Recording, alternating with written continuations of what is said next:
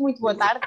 Uh, Bem-vindos a mais um webinar de 60 minutos à FEMIP, uh, que é promovido em parceria com o município de Matosinhos, através da Matosinhos Habit, para uh, uma apresentação e esclarecimento sobre o Programa Municipal de Habitação Matosinhos Casa Acessível.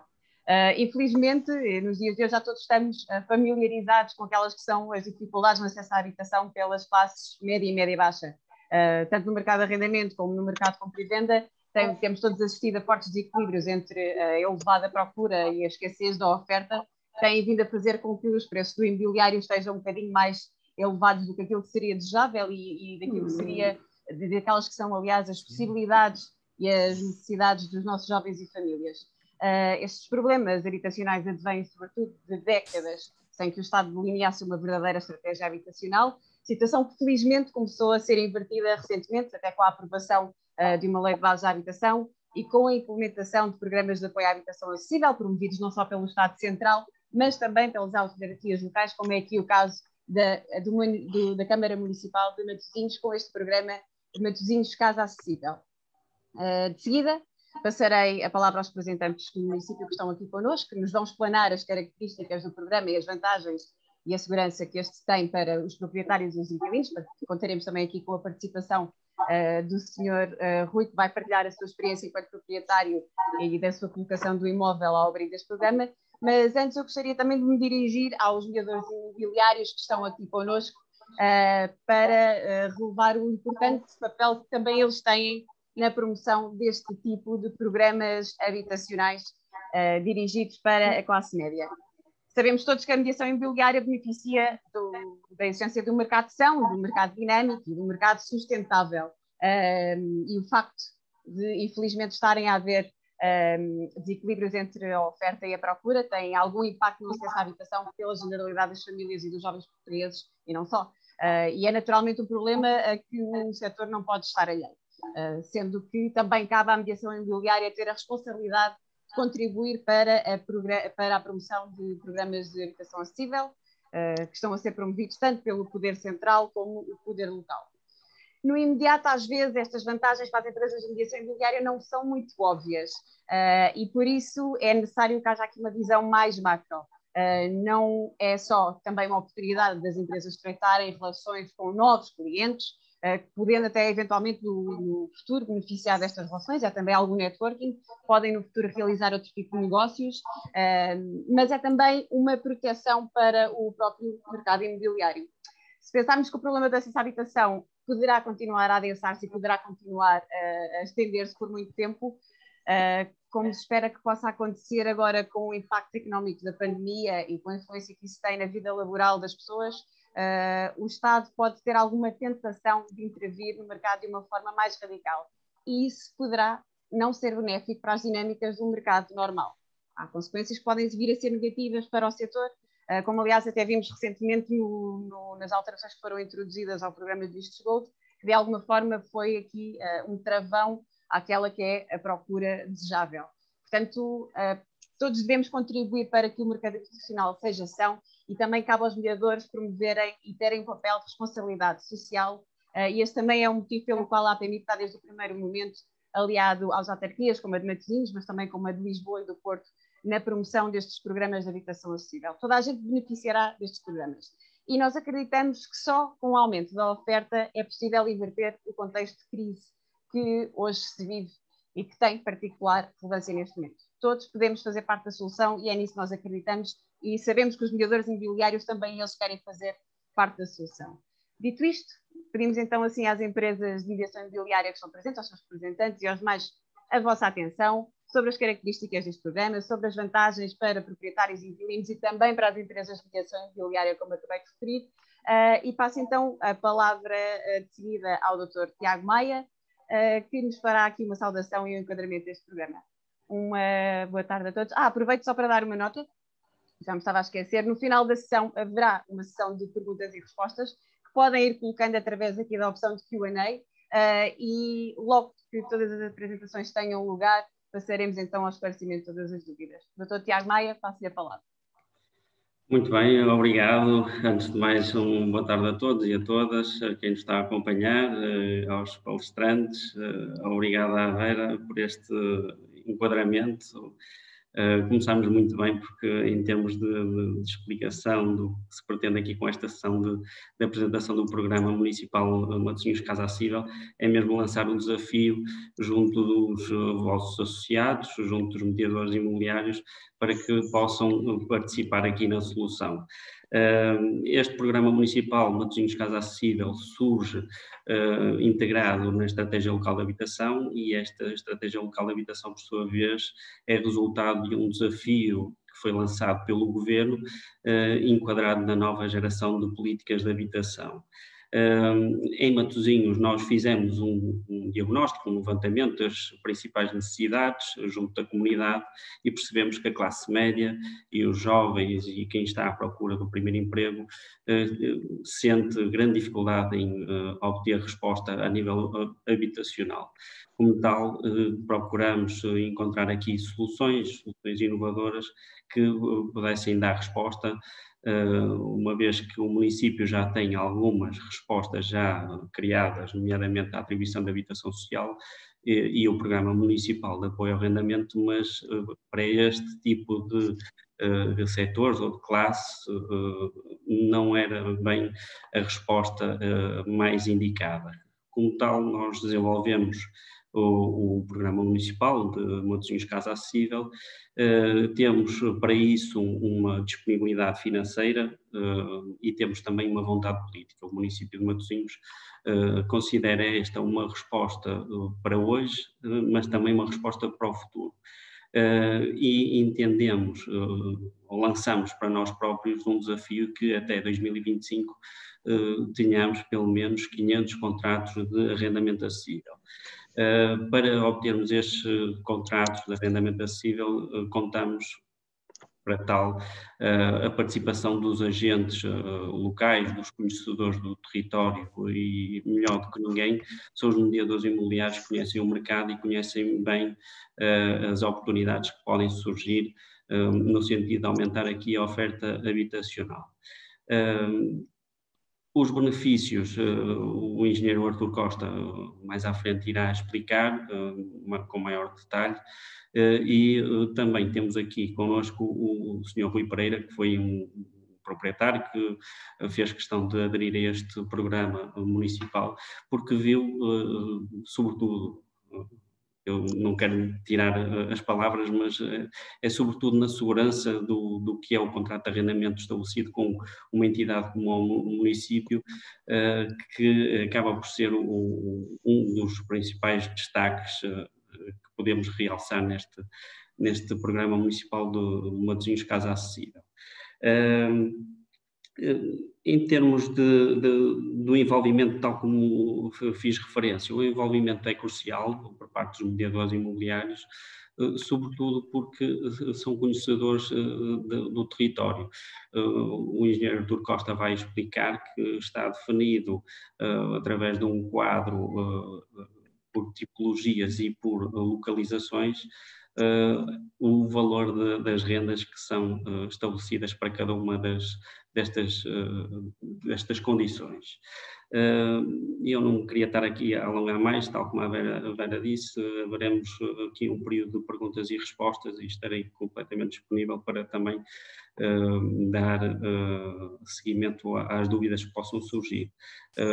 vou, se calhar, terminar esta primeira intervenção como comecei, agradecendo a APMIP como parceiro que tem sido também um parceiro importante, porque tem nos acompanhado neste processo construtivo, e, também agradecer a presença de todos os que nos estão a acompanhar.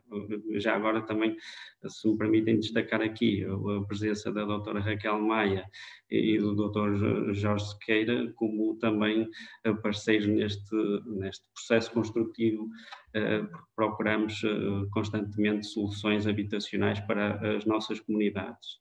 Uh, agora acho que passaremos a, a, visualizar um pequeno vídeo uh, com algumas informações, uma infografia, e depois uh, será o engenheiro Artur Costa que ficará com a bola.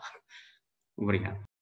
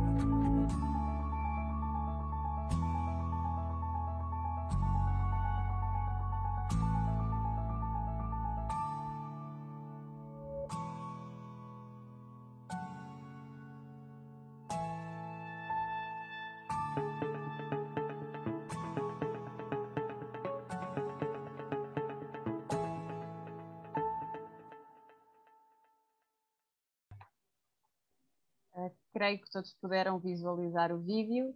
Uh, passo então a palavra ao engenheiro Artur Costa. Sim, muito obrigado. Espero que me estejam a ouvir bem, que é um clássico agora de estão a ouvir. Uh, eu vou continuar aqui um bocadinho aquilo que nós vimos neste filme e as intervenções anteriores, detalhando alguns aspectos, mas no essencial, uh, penso que já estou a partilhar, não? Ainda não, já, já, já iniciou a partilha, sim.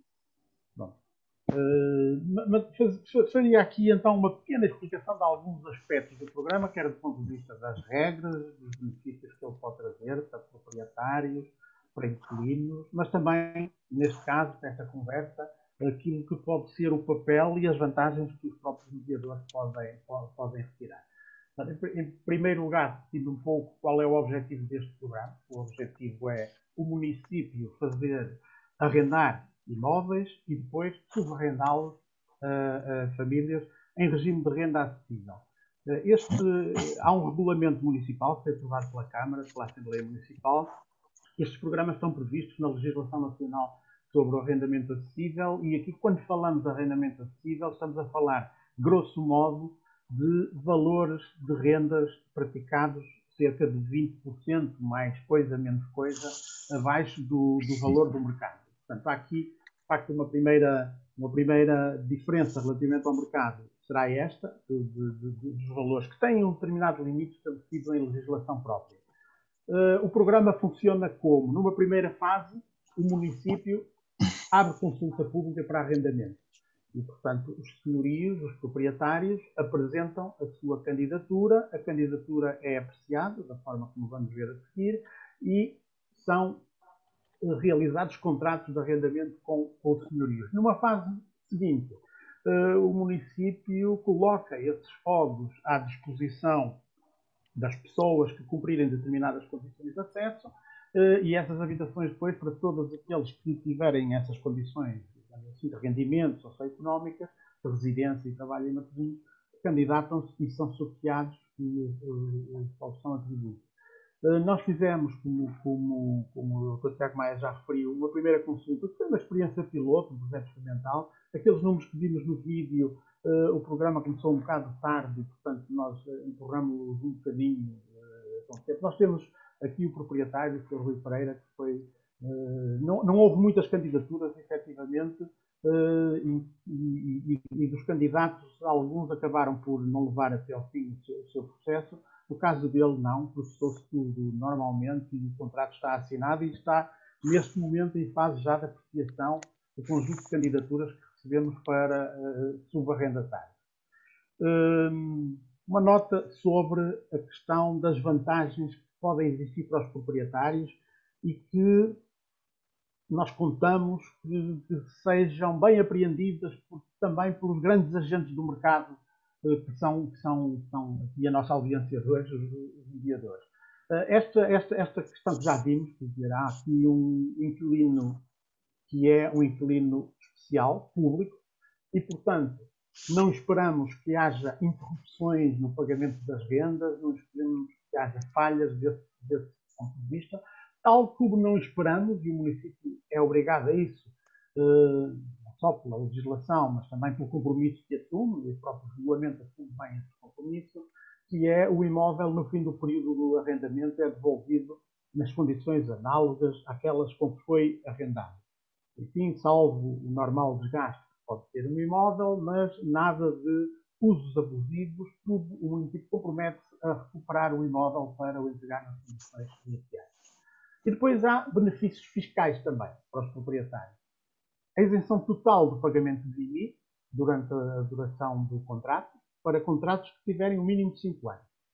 Este é um benefício fiscal que o município de Matosinhos concede, para além do benefício que a legislação sobre arrendamento acessível já concede aos proprietários que entrarem nesse tipo de regime, que é a isenção de IRS ou IRC, conforme seja particular ou uma empresa, para o valor das rendas. E penso que o IRS ou o IRS, o IRS pelo menos ronda 28%, portanto, também é um benefício significativo.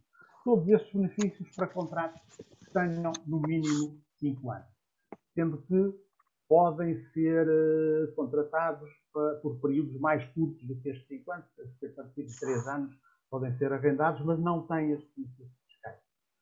Algumas outras vantagens também já passaram um pouco ali pelo filme. Há possibilidade de se negociar um pagamento da renda diferente da renda mensal, um pagamento anual, de dois em dois anos, exceto os últimos dois anos que nasceu do contrato em que a renda será eh, deixa ter essa periodicidade, mas durante, ao longo do contrato a renda pode ser paga por, por, por períodos a negociar, estabelecidos entre, entre, entre o município e, e o.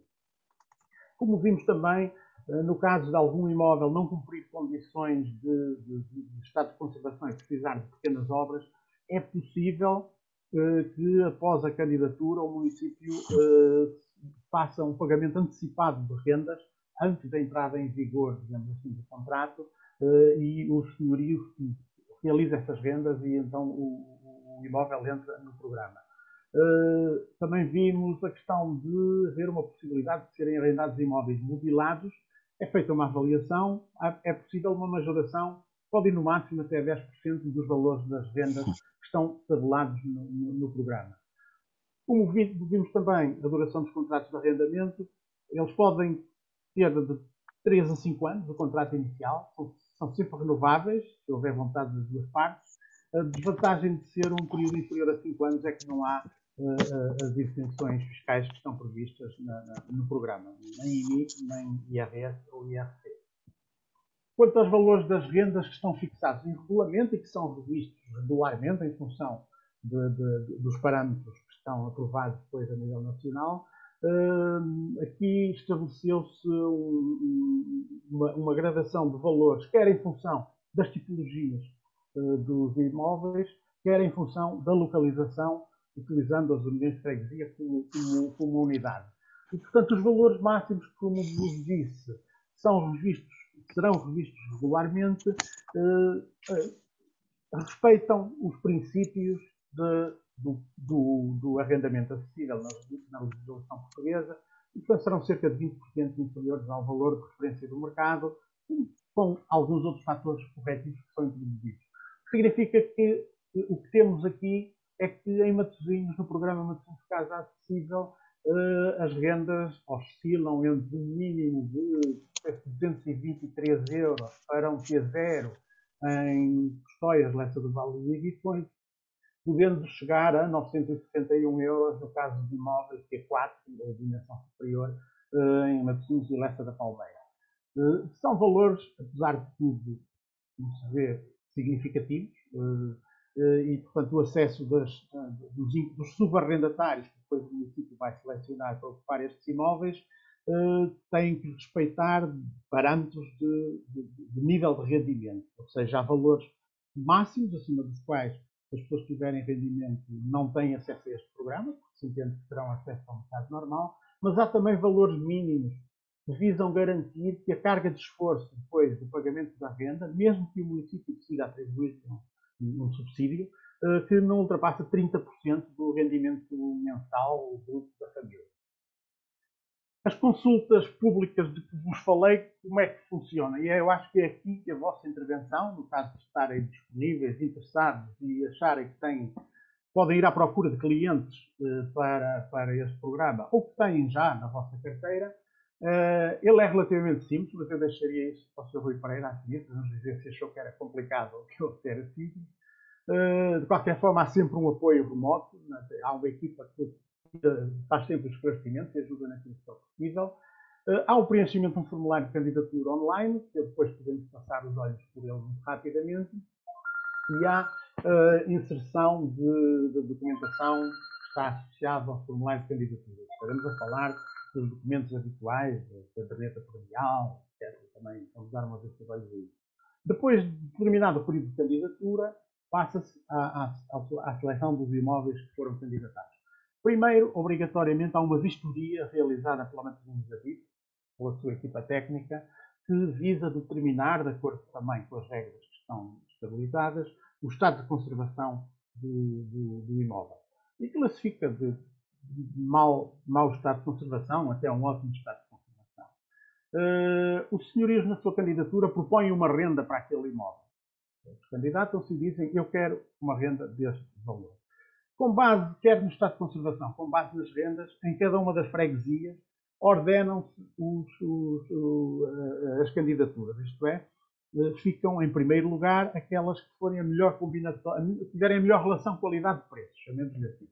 Uh, e, e, e, inclusivamente, se houver candidaturas a mais numa determinada freguesia, o município pode não selecionar todas, pode deixar algumas de fora. Uh, nesta fase inicial, como nós temos aqui alguma rarefação de procura, sentimos que não vai acontecer, mas quando começar a ser atingido o limiar daquilo que o município está disponível para, para, para alocar a este programa, este, este, esta, esta situação pode vir a acontecer. E, portanto, depois desta ordenação, os, os, os, os, proprietários são contactados no sentido de se negociar a assinatura, a assinatura do contrato. Hum, isto é o procedimento normal. E o procedimento normal pode incluir uma intermediação da vossa parte. Pode incluir não uma candidatura direta do, do proprietário, mas uma intervenção do mediador que, ou introduzindo a candidatura em nome do proprietário, e para isso, desde que isto seja acompanhado por uma declaração do proprietário a delegar no mediador a apresentação da candidatura. Ou porque lhe dá apoio, ou porque o encaminhou para este programa, nesse caso sendo o proprietário a apresentar a candidatura, de qualquer das formas, uh, a Matosinhos Avito remunera o, o, o, o mediador. Isto é, está fixado uma, uma, um valor de, equivalente a uma renda mensal, aquela renda que o município vai pagar, que o município pagará uh, uh, ao mediador como remuneração do seu serviço de encaminhamento e de apoio a um proprietário que veio aderir ao programa.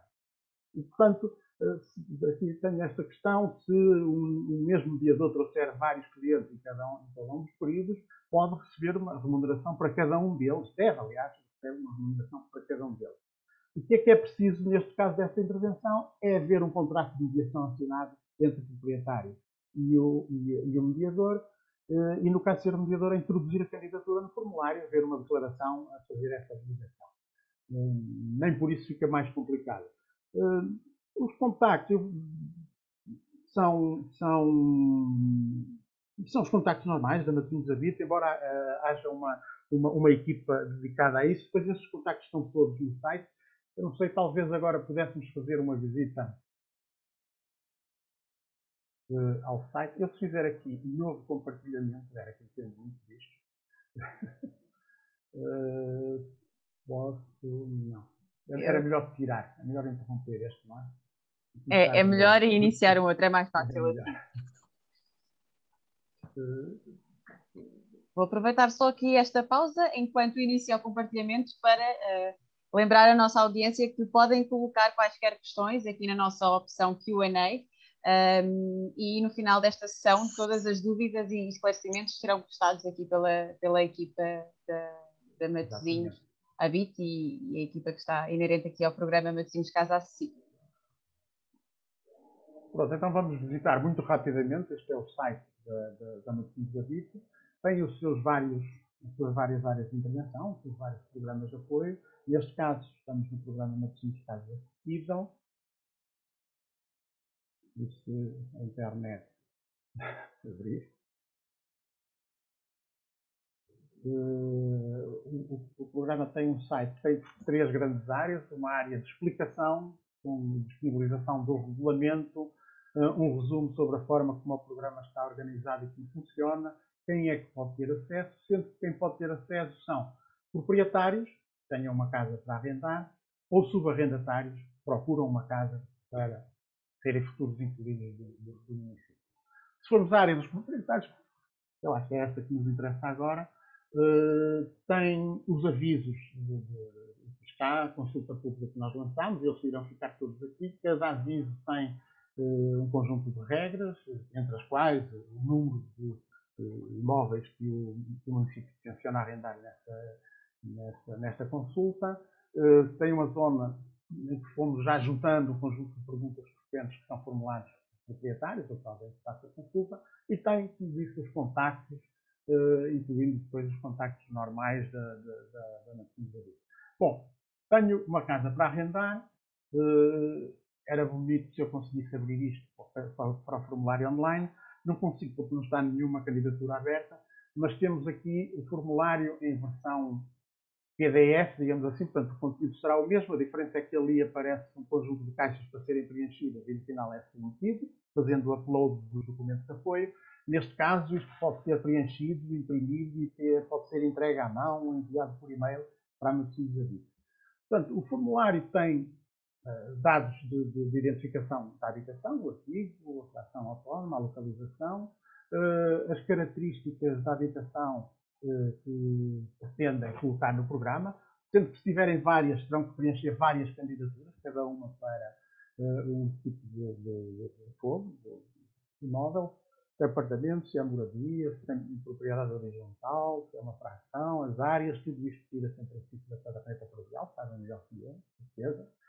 As áreas, a tipologia, a classe de certificado energético, se tem estacionamento, se não tem. Aqui fica uma caracterização de, de todo o, o, imóvel. Isto é evidente que depois tudo isto é interessante para fazer uma triagem, tudo isto é verificado em termos depois da, da, da, da vistoria que é, que é realizada.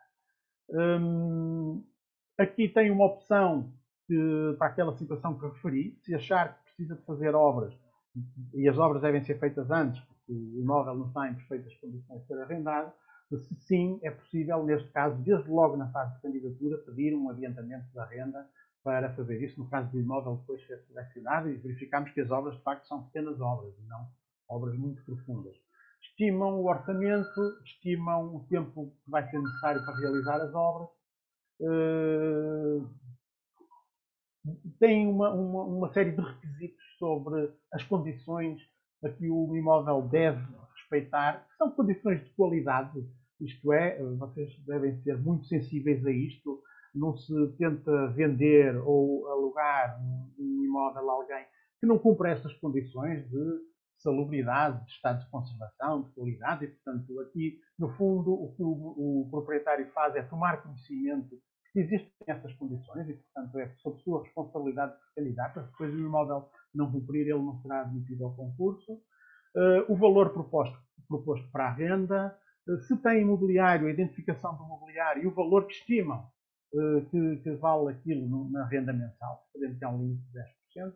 E depois os tais documentos que são necessários introduzir, o certificado energético, que pode não ser submetido nesta fase, mas terá que ser apresentado obrigatoriamente antes da celebração do contrato, a caderneta predial, a certidão permanente de risco, a licença de utilização para a habitação, ou, se for um imóvel mais antigo, portanto não ter licença ou documento de isenção, a planta da habitação, outros documentos que entendam dever colocar. Põem-se os elementos de identificação, uh, aceitam, uh, há aqui uma série de questões relativas à proteção de dados agora, que é, que é muito importante, há um compromisso e da Câmara de Matosinhos não violar esse, esse, esse, tipo de princípios, uh, e portanto faz as declarações habituais, assina, ou se for no formulário, não assina, e submete a candidatura. Hum, pronto, é isto. E ficar, ficam à espera depois de um contacto, felizmente acontecerá, para marcarmos a vistoria e para, e para, e para nos conhecer. Não sei se nos seria oportuno agora a intervenção do nosso caro Rui Pereira. Eu creio que sim, Sr. Rui Pereira. Uh, se puder partilhar então connosco a sua experiência enquanto proprietário que colocou o seu imóvel uh, ao abrigo deste programa Matosinhos Casa Acessível, nós agradecemos. Olá, boa tarde a todos. Uh, conforme já referido, estou aqui na qualidade de proprietário de um, de um apartamento localizado em Matosinhos que arrendei ao município no âmbito deste programa. Tive conhecimento do programa através da internet e após eh, consultar o regulamento do programa, entrei em contacto com a Matosinhos Habit para obter esclarecimentos e não hesitei em apresentar a, a candidatura. De facto, o, o município de Matosinhos está de parabéns porque considero este programa muito positivo tanto para proprietários como para arrendatários. ainda mais no contexto que se vive atualmente. Eh, como disse, realizei recentemente contrato com o município e estou muito satisfeito com a minha adesão a este programa, na medida em que realizei um contrato com uma entidade financeiramente sólida que me oferece garantias acrescidas de estabilidade. O prazo do contrato é alargado com possibilidade de renovação e segurança no cumprimento desse contrato. Outras vantagens que, que, que este programa tem eh, são um, o enquadramento fiscal favorável, a possibilidade de isenção de IRS, IRCE e o pagamento do IMI. Em segundo, a garantia de devolução do imóvel no final do prazo em condições similares ao estado inicial, com base na vistoria técnica que, que é efetuada. E, e, e, três, a possibilidade de liquidez antecipada, com pagamento de rendas com periodicidade diferente da mensal. Poderá ser, por exemplo, anual e, e de forma antecipada. E, para finalizar, gostaria de agradecer a toda a equipa da Matosinhos Habit pelo bom acompanhamento que me tem dispensado na resolução de todas as questões que têm surgido neste início de processo. Eh, bem-ajam. Muito obrigado, Sr. Rui Pereira, pela sua partilha. Temos Estou aqui um a dispor se, se, se, for, se, se for necessário. Temos aqui um testemunho do proprietário que partilha connosco efetivamente a segurança uh, deste negócio, que efetivamente temos aqui uh, um inquilino que, não sendo o morador do, do, do, imóvel, quem paga a renda, portanto, é o município, portanto, é uma entidade uh, credível. Não há aqui a possibilidade de incumprimento, que às vezes é, é um dos riscos que os proprietários correm no mercado de arrendamento normal, e depois todos, todos os benefícios fiscais da devolução do imóvel nas mesmas condições em que ele foi entregue. Há uma série então aqui de benefícios para os proprietários e depois, por outro lado, também para os inquilinos que acedem uh, aos imóveis uh, com uma renda à medida das suas possibilidades e garantindo a, a, a, sua taxa de esforço e não ultrapassando, aliás, a sua taxa de esforço. Eu passaria agora de seguida a, a palavra à doutora Raquel Maia, à doutora José Sequeira, da Porto Vivo, para partilharem também com ele, eles connosco aqui uh, os grandes benefícios e as grandes vantagens destes programas habitacionais que estão a ser promovidos pelos municípios. Boa tarde a todos. Eu começo por agradecer o convite ao Dr. Tiago Maia para, para, nos juntarmos aqui a este vosso webinar e também à doutora Vera Costa, na qualidade de representante da APMIP, um, nós aquilo que podemos, enfim, abrir aqui um bocadinho um, aquela que é a nossa perspectiva deste, destas, destas políticas, deste, desta nova matéria em termos de habitação social.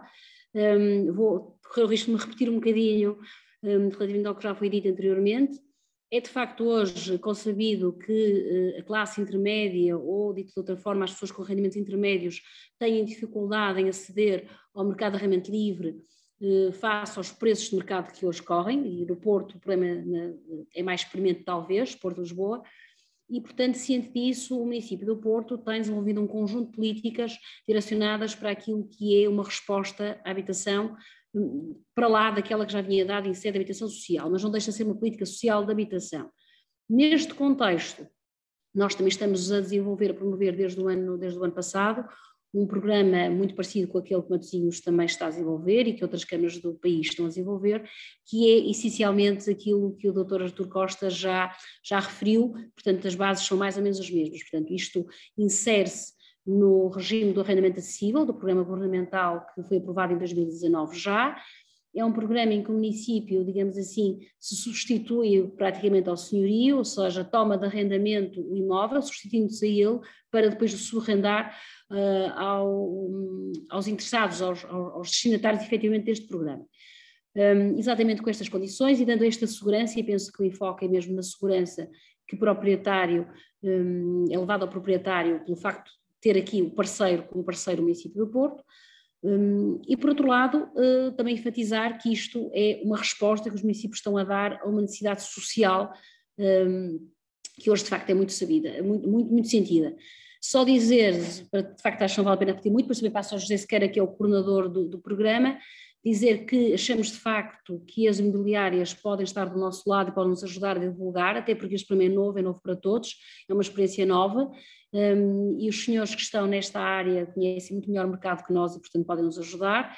Um, também dizer que da experiência dos concursos que já lançamos, eh, quer do lado de, de, enfim, da, da, da, tomada de arrendamento, ou seja, junto dos proprietários, quer muito dos concursos para subarrendamento ou para arrendamento, porque nós também nós já lançamos concursos de arrendamento de imóveis nossos, dizer que a procura é de facto muito grande. Eh, há muita gente à procura de casa, nós naturalmente seguimos um critério baseado num sorteio, não podia ser de outra forma, eh, a partir de certos requisitos que os, que os concorrentes têm que que ter uh, e a procura é muito grande e, portanto, a resposta que estamos a dar uh, não é suficiente e temos que aumentar a oferta pública de arrendamento. Penso que é, que é isto que posso dizer, um, posso sublinhar aqui. Passava também então agora a palavra ao Dr. José Sequeira, que é quem coordena o projeto aqui no, no, na nossa empresa na Porto Vivo.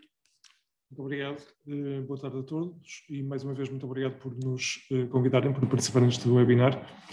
Uh, complementar dizendo que, portanto, o programa neste momento sofreu alterações recentes. Uh, no final do ano passado, nós introduzimos uma série de alterações que procuraram uh, aumentar a atratividade do programa. Desde logo, fizemos subir os valores máximos de renda pelos quais nós estamos dispostos a contratar, a arrendar, e fizemos também alterações a nível das, dos valores, portanto, Havia, de facto, também uma diferenciação por freguesia, por tipologia, muito semelhante àquilo que uh, Matosinhos pratica, mas decidimos que seria mais eficiente se nós fizéssemos apenas uma uh, diferenciação por tipologia e adotássemos esses valores máximos uh, a nível de todo o município. Uh, efetivamente, estas alterações, para além de outras, nomeadamente, e importa dizer, Portanto, para além de arrendarmos imóveis que estejam disponíveis, prontos a habitar no imediato, também abrimos a possibilidade para imóveis que necessitem de obras e para imóveis que não estão ainda construídos ou não estão ainda totalmente uh, edificados e reabilitados. E para esses imóveis também estamos dispostos a realizar contratos de promessa de arrendamento. E, portanto, damos aí alguma segurança também aos investidores e proprietários, no sentido de que, portanto, no final das obras, existe aqui um, um, interessado, um município, em, em arrendar e colocar depois no subarrendamento e, e de certa forma, já, portanto, assumir essa gestão do imóvel no, no, no futuro, no futuro imediato. Ehm, portanto, estas alterações introduziram, de facto, bastante atratividade no programa e estamos a senti-lo. iniciamos um novo concurso, lançamos um novo concurso agora no início de março, e estamos com bastante procura, bastante procura por parte de proprietários eh, e por, e por parte também de promotores que nos estão a apresentar imóveis, portanto, completos eh, e em que, portanto, eh, apresentam a possibilidade de fazer obras e de os remodelar, no sentido de apresentar imóveis prontos, renovados e melhorados no programa. Portanto, estamos muito satisfeitos com, esta, com este primeiro mês de atividade, mas efetivamente, sim, para escalar e para, para chegarmos aos 500 imóveis que também estamos, uh, temos esse objetivo para este ano, uh, portanto, para chegarmos aos 500 imóveis precisamos dos agentes imobiliários a trabalhar connosco e, portanto, muito em breve teremos novidades quanto a isso. Estamos a preparar um, um procedimento no, no sentido de uh, contarmos com, uh, com essa força para chegarmos a mais proprietários uh, e, e, de facto, atingirmos o objetivo traçado para este ano. É isto. Muito obrigado. Muito bem, muito obrigada. É isso mesmo, dentro em breve também aqui as nossas empresas associadas terão novidades sobre o programa promovido pela, pela Porto Vivo. Uh, muito obrigada pela vossa participação e pelo vosso contributo, doutora Raquel Maia e doutora José Sequeira. Uh, passaria então aqui à nossa sessão de perguntas e respostas. Aqui os nossos participantes estão muito tímidos hoje, mas nós temos aqui algumas questões prévias que nos foram encaminhadas e que vamos passar a lançar antes de, antes de passarmos aqui às questões que nos foram colocadas pela nossa plataforma. Sugerimos que aproveitem este momento para serem esclarecidos e para colocarem todas as dúvidas que tenham. Então, uh, dirijo esta questão talvez aqui ao Dr. Artur Costa, engenheiro, aliás, não sei como ter mesmo erro, que é, uh, perguntam como se processa a avaliação técnica do imóvel, tendo em conta a situação pandémica que obriga ao recolhimento obrigatório. Ou seja, neste momento o município não tem ainda não, não tem um, um, concurso em vigor, dentro em breve terá. Uh, se, se, se, prolongar este dedo de recolhimento obrigatório, como é que se processará esta avaliação técnica? Pergunta a Susana Matos. Posso tentar responder. Processa-se. Há uma equipa de, eh, de, especialistas que se desloca uh, com os cuidados todos que é natural, tem que se ter nesta situação. Aliás, eu penso que quando fizemos a vistoria do apartamento do Sr. Rui Pereira, eh, já estávamos neste período pandémico.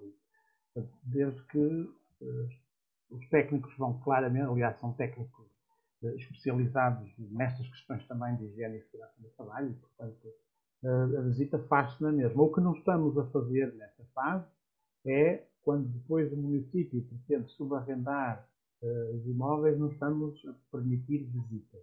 Tal como, aliás, se aplicava, uh, não, não estivemos, a partir de agora, provavelmente a situação é diferente, tal como se aplicava à própria atividade de, dos mediadores. Não é? E, nesse caso, o concurso que abrimos para a atribuição do imóvel, deste, deste apartamento, foi baseado exclusivamente na visualização de fotografias, uma pequena montagem de vídeos e elementos de informação que são disponibilizadas no site. Hum, no futuro haverá, naturalmente, visitas pela, está previsto até no regulamento, haver visitas pelos interessados a cada um dos apartamentos. Mas a vistoria foi feita normalmente. A equipa foi lá. Hum, eu penso que o Sr. Rui Pereira estava também, não é? Nesse dia. Acompanhou-os. Eh, correto. Acompanhei, acompanhei a, a vistoria, sim. E foi seguro? Sentiu-se seguro? Sim, sem dúvida nenhuma. Utilizamos é, as regras que, que, estavam, exatamente. A máscara o comprimento. e algum, algum distanciamento.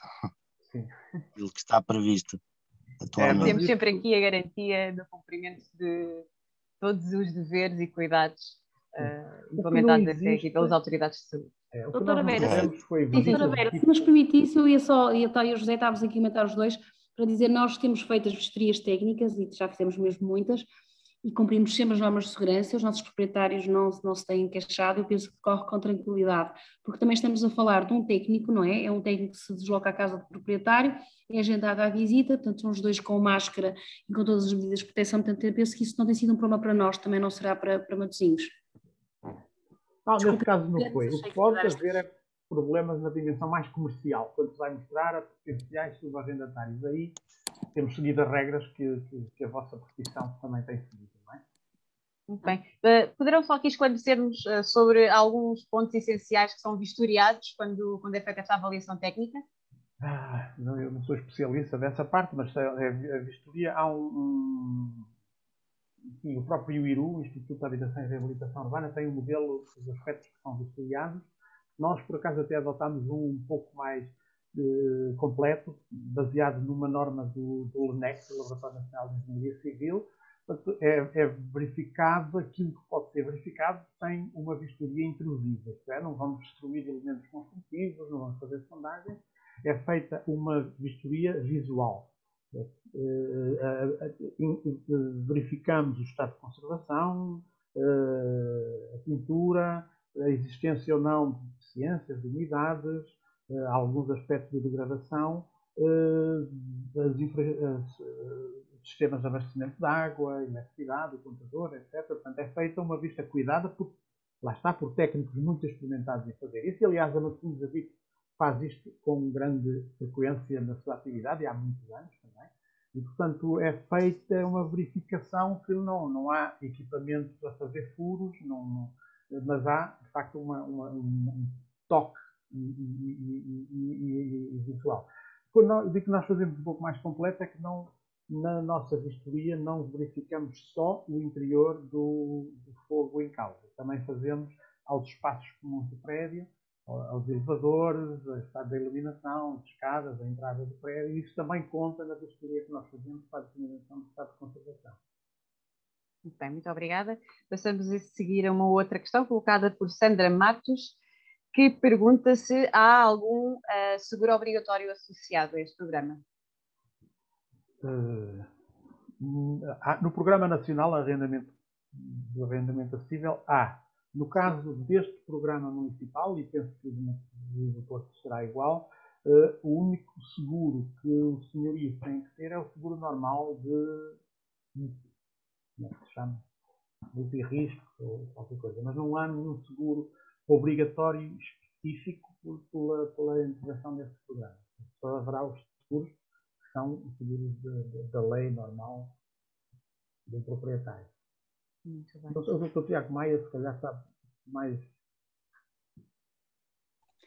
Ah, não, em relação ao, ao seguro, no, o que nós temos é, é aquele seguro geral, mas o, o, o, Sr. Rui Pereira foi colocada essa questão e nós esclarecemos isto com o IRU. Temos uma certa autonomia relativamente ao que é o Programa Nacional o Programa Municipal e as obrigações não serão ah, bem as mesmas. Uh, por isso será um, um, seguro básico relativamente ao, ao, ao, imóvel. Muito bem. Um, há alguma previsão para o lançamento das, próprias, das próximas candidaturas? Dos próximos concursos, neste caso? Relativamente então à próxima consulta pública uh, junto dos proprietários, uh, nós temos previsto para a segunda semana de abril. Uh, e depois decorrerá durante aproximadamente três semanas até ao final do mês de abril. É esta a planificação que nós temos. Uh, coloco então agora uma questão que nos foi colocada aqui por Margarida Viana, que pergunta como é conseguido o benefício fiscal relacionado com o IMI. Bom, ele, ele depois opera-se automaticamente. É o, o, proprietário, depois de assinado o contrato, registra o contrato de arrendamento no site da autoridade tributária. Eh, para efeitos do, dos outros da isenção dos impostos, registra também no portal nacional do arrendamento acessível. Eh, o município entrega-lhe uma declaração que diz que este programa está ao abrigo do programa uh, Matosinhos Casa Acessível e a partir desse momento a autoridade tributária processará automaticamente a isenção dos impostos que estão previstos. O que é, o que é preciso é fazer estes registros de contratos, aliás, normalmente o registro na autoridade tributária já seria sempre obrigatório, não é? Neste caso, o registro no Programa Nacional, também acompanhado da tal declaração do município a dizer que ele está inserido neste programa e, portanto, também terá direito àquelas isenções fiscais, incluindo e o próprio Instituto de Habitação e Reabilitação Urbana faz essa comunicação à autoridade tributária. Portanto, a minha expectativa é que corra bem e que, quando receberem uh, os papéis da autoridade tributária para pagar impostos, estes apareçam devidamente acautelados. Uh, passo então de seguida à questão de Paulo Rodrigues, que pergunta qual é o prazo de decisão entre a candidatura e a decisão do, do concurso. Ah, eu o mais rápido que for humanamente possível. no sentido em que há prazos estabelecidos no, no, no, no, regulamento. No final da candidatura há um período, que eu agora peço desculpa não ter presente, são 10 dias úteis para serem realizadas as vistorias. E depois de realizadas as vistorias há mais 10 dias para se proceder ao, à análise e ao ordenamento das candidaturas. E, portanto, a partir desse momento é comunicado aos proprietários e aqui depois dependerá do processo negocial em cada, um, em cada caso. Se, por exemplo, pretender realizar obras, eh, pode ser necessária uma segunda vistoria para verificar orçamentos, etc. E, portanto, poderá levar mais algum tempo. Eu, neste caso, não sei. O Sr. Rui Pereira tem presente quanto tempo entre. Eu não contaria aqui desde o início da candidatura, mas sim desde o, desde o encerramento do período de candidatura. Porque o que o regulamento estabelece é que as candidaturas só são analisadas depois de terminar o prazo. Eventualmente isto é um aspecto que poderá rever no futuro para, para ganhar etapas, assim que a candidatura estiver submetida, poder fazer logo a vistoria, por exemplo, mas por um princípio de igualdade de concorrentes, só, só se abrem, digamos assim, as candidaturas no, no final do prazo. Uh, mas eu penso que se correr bem, uh, acho que no espaço de um mês há condições para ser acertado o tipo de contrato que se vai fazer. Neste caso também nós ainda não tínhamos, foi o primeiro, o experimental, ainda não tínhamos afinado o modelo de contrato, como é que se incorporavam estas especificidades do programa num contrato de arrendamento.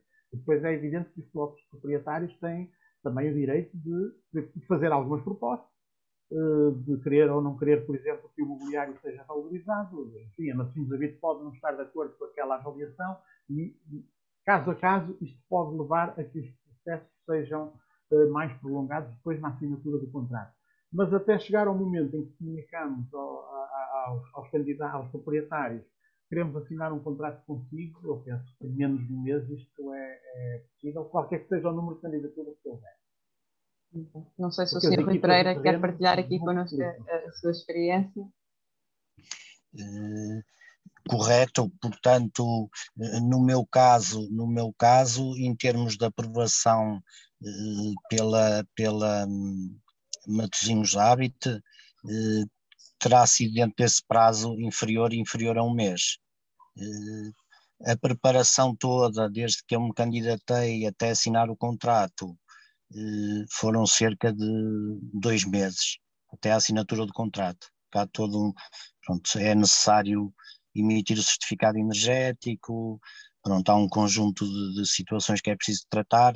Também foi neste, por um lado, eu apanhei esta situação eh, na Câmara de Matosinhos, o programa a iniciar, por outro lado, também a situação da pandemia também poderá ter aqui tido alguma influência mas, mas no total, digamos, vistoria e tudo, foram cerca de 60 dias até fazer o contrato.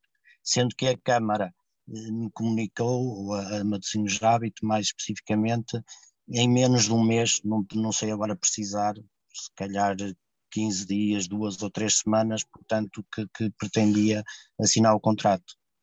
E depois 60 dias para a coisa se efetivar mesmo, tratar, tratar de tudo. Muito bem. Uh, temos aqui mais uma questão da nossa audiência, por Vidal Castro, que pergunta se uh, existe alguma solução para investidores que ainda não sejam proprietários. Ou seja, alguém que pretenda adquirir um imóvel para colocar no mercado de arrendamento poderá fazer uma candidatura prévia? Não, investidores que não. Engenheiro Arthur, não, não estamos a ouvir. Não, não, não eu estava a ler. Ah, ok. Mesmo para não ouvir. Eu não, mas nesta, esta circunstância não, não, não, será possível. O que nós fizemos em termos de alteração ao nosso regulamento foi o, basicamente o que o Porto fez uh, para promover uh, ou para uh, dar resposta ao interesse dos promotores imobiliários, mas nesta circunstância teria que ser acima de 20 fogos, estabelecendo assim, desta forma, contratos promessa. Uh, e esses contratos promessa eram uma garantia de que o município depois asseguraria o, os arrendamentos por um prazo uh, com maior duração, ou seja, entre no mínimo 20 até 30 anos, mediante o plano de investimento que uh, apresentem aqui ao município. Tratando-se de um único imóvel, uh, não, não temos nenhuma candidatura ou nenhuma consulta prévia, uh, não, não, não podemos dar essa garantia. Muito bem. Uh, terminam aqui as questões por parte da nossa audiência. Temos aqui o Sr. Pedro Mendes, que me parece ser um potencial inquilino. Deixa aqui o seu contacto telefónico, mais tarde eu partilharei com a Matosinhos Habita. A minha sugestão é que o Sr. Pedro Mendes tente entrar diretamente em contato com a Matosinhos Habita, talvez seja mais simples. Uhum. Da nossa parte. Uh, nota do contacto. Muito bem. Da nossa parte, uh, terminamos por aqui a nossa, a nossa sessão, uma vez que não há mais uh, questões.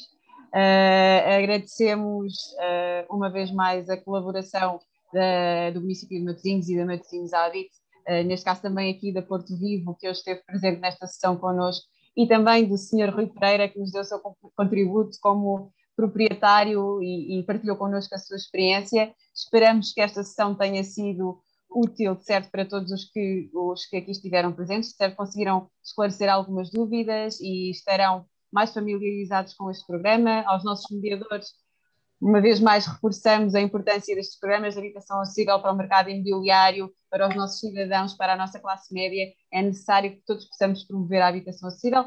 Passo a palavra aqui aos nossos oradores para as despedidas, caso queiram acrescentar alguma coisa. Eu quero acrescentar que, eh, independentemente desta, desta sessão, eh, nós estamos disponíveis para discutir eh, coisas mais concretas inclusivamente, o, o, programa tem um espaço próprio nas instalações, nas instalações da Nações Unidas, portanto será mesmo possível realizar, uh, conversas presenciais mais individualizadas ou entrando em contato connosco também conversas mais individuais se pretenderem de, por estes meios mais à distância. É? A ideia é mesmo levar a que isto seja um negócio interessante também para os mediadores e, transformá-los em, em angariadores de, de, de, imóveis para, para o programa. Para chegarmos aos nossos 500 Muito bem, eh, eu também queria agradecer a participação, eh, quer do, Porto Vivo, quer também do, do Sr. Rui Pereira eh, e do engenheiro Artur Costa.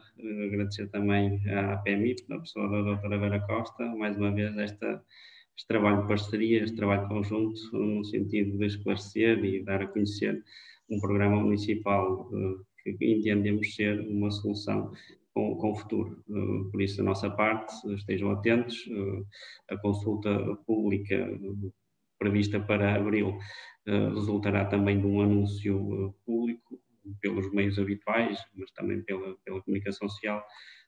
e sempre que surgir alguma dúvida, alguma questão, nós estaremos sempre disponíveis para esclarecimento do que possa surgir. Uma vez mais, obrigado e boa tarde. Muito obrigado. Obrigado, foi um gosto, obrigado. Doutora Raquel Maia. Nós também agradecemos a oportunidade e dizer que estamos sempre disponíveis para participar nestes fóruns. Muito obrigada. Muito obrigada a todos uma vez mais, muito obrigada aos nossos participantes. Da nossa parte, da parte da APMI, dou nota que sempre que houver o lançamento uh, destas de, de, protocolos eventuais, entre em breve, talvez tenhamos aqui novidades com, com o Porto Vivo também do, dos, dos, momentos de consulta, avisaremos e daremos nota uh, pelos meios habituais às nossas empresas associadas. Temos também aqui uma via direta através da qual poderão esclarecer dúvidas sobre estes programas de habitação uh, acessível, nomeadamente através do e-mail dj.apmip.pt. Uh, eh, desejamos a todos uma boa tarde, um bom fim de semana, bom trabalho Esperamos que possam fazer parte da solução deste, deste problema habitacional que tem existido aqui uh, e que queremos conseguir, em, em, parceria aqui com as autarquias, uh, solucionar. Uh, agradecemos a presença de todos. Uma boa tarde, um bom fim de semana e mantenham-se seguros. Obrigada. Boa tarde, obrigado.